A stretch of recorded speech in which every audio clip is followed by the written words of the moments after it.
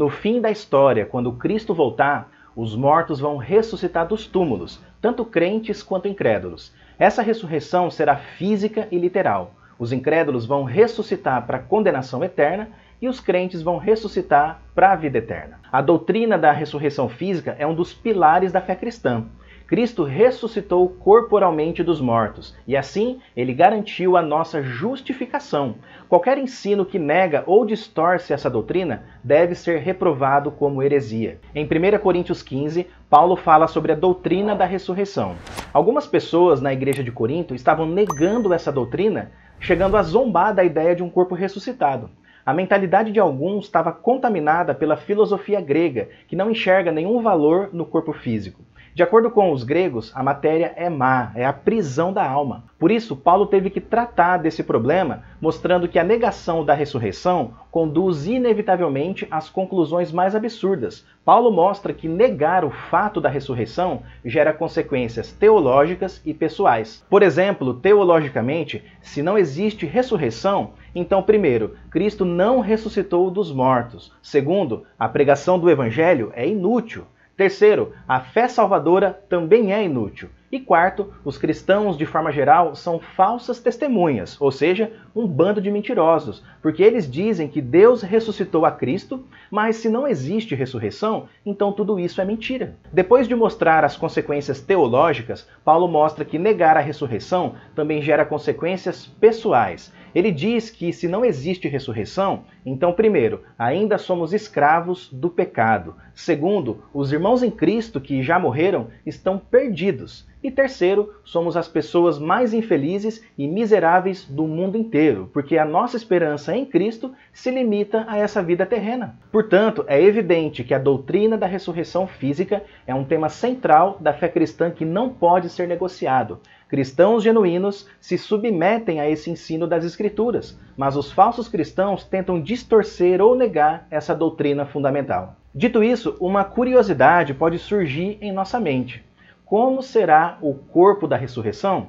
Vamos ter o mesmo corpo que temos nessa vida ou teremos um corpo totalmente diferente? Existe algum elemento de continuidade entre o corpo atual e o corpo da ressurreição? A Bíblia não entra em detalhes e pormenores a respeito dessas questões. No entanto, a Bíblia fala alguma coisa sobre o corpo da ressurreição.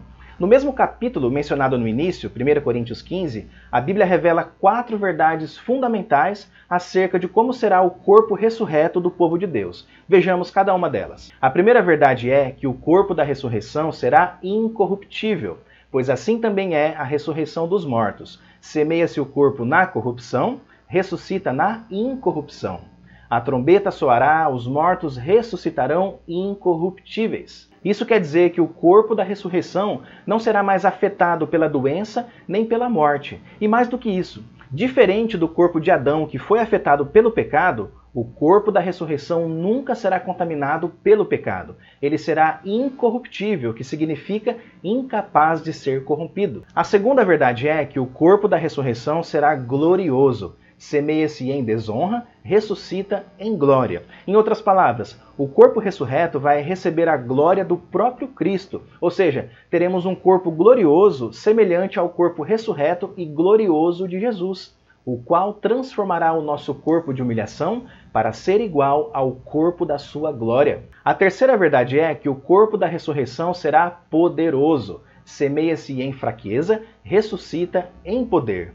Mas o que é um corpo poderoso? Bem, não se trata de um corpo cheio de músculos, mas de um corpo resistente, capaz de correr e não se cansar, por exemplo. Todas as limitações impostas pelo pecado vão ser finalmente removidas na ressurreição. Além disso, pessoal, teremos a capacidade de amar, servir e obedecer a Deus de maneira mais plena. Fato é que vamos desfrutar de uma realidade completamente nova e maravilhosa. Por fim, a quarta verdade é que o corpo da ressurreição será espiritual. Semeia-se corpo natural, ressuscita corpo espiritual. Se há corpo natural, há também corpo espiritual.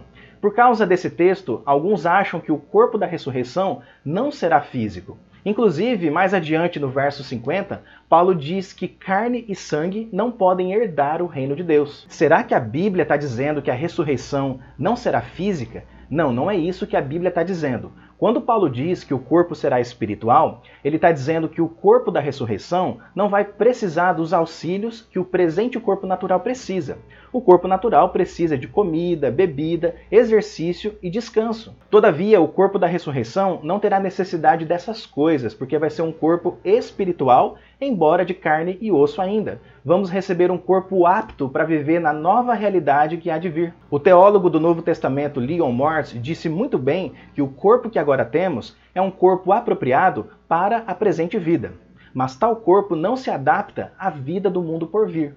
Para este, se necessita um corpo harmonizado com o espírito, de fato, um corpo espiritual. Além disso, o corpo da ressurreição será espiritual porque ele vai ser completamente cheio do espírito e governado pelo espírito, de fato, um corpo glorificado. Portanto, um dia seremos ressuscitados fisicamente pelo poder de Deus.